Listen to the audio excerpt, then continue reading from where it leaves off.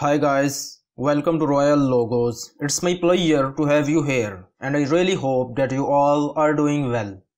In today's logo design tutorial, I will demonstrate you that how can we design this logo by using Adobe Illustrator.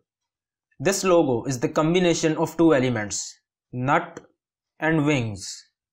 Now let's continue with the design process in Adobe Illustrator. So first of all, go to File and select New. Set the width of your page to 1920 points and height to 1080. Then click OK. First of all, select the rectangle tool and left click on the page and you can see that a panel with the options for the width and height is appearing. Simply set the value of width to 1000 points and for the height to 550 points and press enter. And you can see that a rectangle is drawn. We doesn't need the fill, so we will cancel it by clicking on this cross icon and we will keep the stroke color. And if stroke color isn't appearing for you, then simply go to this menu and assign this black color. And if you want to increase the stroke width, then simply click on this drop down menu and select the value to say 4 points. Now select the selection tool and drag your rectangle at the center like this.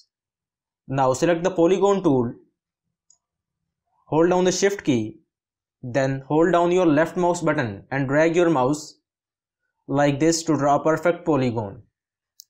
Now if you want to differentiate between the parts then you can assign it some different color like this orange color.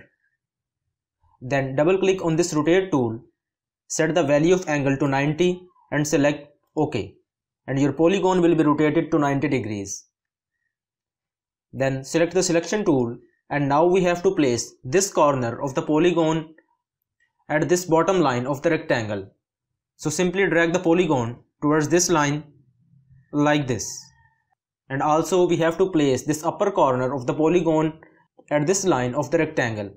For this purpose, simply hold down the shift key on your keyboard, then hold down your left mouse button at this node and drag it towards the line like this. Now from this stroke panel, simply set the value to 70 points and press enter.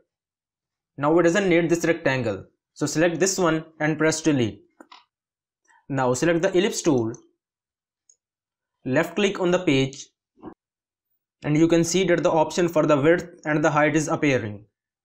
Simply set the value of width to 250 points and for the height to also 250 points and press enter and you can see that a perfect circle has drawn.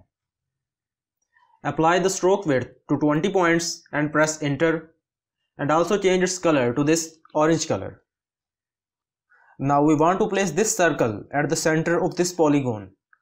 For this purpose, first select the selection tool, then select both of these parts, go to Windows and select Align. Then click on this icon which says Horizontal Align Center and also in this one which says vertical align center like this. Then hide this menu and drag it at this position. And now we want to convert these stroke lines into solid object. For this purpose, go to Object, Path and select Outline Stroke. And now we are done with the nut design. And we will continue with the wings design process. Again, select the rectangle tool left click on the page and write the value of width to 260 and for the height to only 80 points and press enter. Again left click on the page. This time enter the value of width to 170 and keep the height to 80 and press OK. Then select the selection tool, select both of these parts, go to Windows and select Align and this time click on this icon which says horizontal align left like this. Then deselect both of these parts by clicking on the white area. Now press Z on the keyboard and zoom in this area like this. Then select the direct selection tool, left click on this rectangle, then click on this anchor point. And you can see that a small circular icon is appearing. Simply hold down your left mouse button on this icon and drag it towards the maximum value like this. Then select this rectangle Again select this anchor point and repeat the procedure with the icon like this. Now to reset the page view, simply press Ctrl plus 0 like this. Now again select the rectangle tool, left click on the page and this time enter the value of width to 30 points and for the height to 500 points and press enter. And if you want to differentiate between the parts then we can change its color. So simply go to this menu and assign it some different color like this blue color. Now press Z on the keyboard and zoom in this area. Then select the selection tool and now we have to place this corner of this vertical rectangle at this corner of this polygon.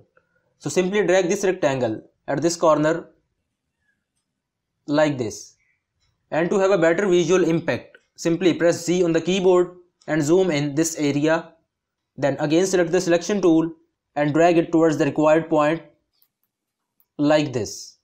Now restore your page view by pressing Ctrl plus 0 like this. And now we have to duplicate this blue rectangle. For this purpose, hold down the alternate key, then hold down your left mouse button on this rectangle and drag it towards the right side like this. Now double click on this rotate tool and set the value of angle to 90 degrees and press enter. Now press Z on the keyboard and again zoom in this area. Then select the selection tool and drag this rectangle at this corner like this. Then hold down your left mouse button at this part and drag it towards the corner like this. Now we doesn't need this horizontal rectangle so select it and press delete on the keyboard. Now select both of these parts then go to windows and select pathfinder. Then select merge. Then minimize this panel and again restore the page view with Ctrl plus 0. And now we have to place this part exactly at the center or you can say the horizontal axis of this polygon. So hold down the shift key and click on this polygon then go to windows and select align in the align menu. If this distribute space isn't appearing on your screen you can show and hide this distribute spacing by clicking on this menu and here we have the option for the hide. And again if you want to show this panel then again go to this menu and select show options. From the align to select align to key object and now you have to select your key object and our key object is this polygon. Then click on this icon which says vertical align center like this and now the wings are placed exactly at the center line of the polygon. Again minimize the menu and deselect both of these parts by clicking on the white area. Now hold down the shift key then hold down your left mouse button and drag this shape towards this rectangle like this. Then select both of these parts, right click and select group. And to duplicate this copy, hold down the alternate key, then hold down your left mouse button and move your mouse towards the left side of your page like this. Then select the reflect tool, then double click on it, select vertical and select OK. Again select the selection tool and now we have to place this corner of this blue rectangle at this corner of the polygon. First press Z on the keyboard and zoom in this area to have better visual. Then again select the selection tool and drag this part towards this corner of the polygon like this. Then reset the page view by Ctrl plus 0. Right click on this shape and select ungroup. Now select this rectangle and press delete. Also select this one.